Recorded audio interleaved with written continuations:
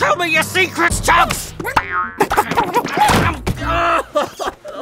Dude, you're never getting in there. What? He's probably playing the beans jazz to keep him smooth. Ridiculous. You keep the flavour smooth by teasing it out. Who's that a dumbbell? So that's how he keeps the coffee strong. Strong. Everyone knows the best coffee is mellow.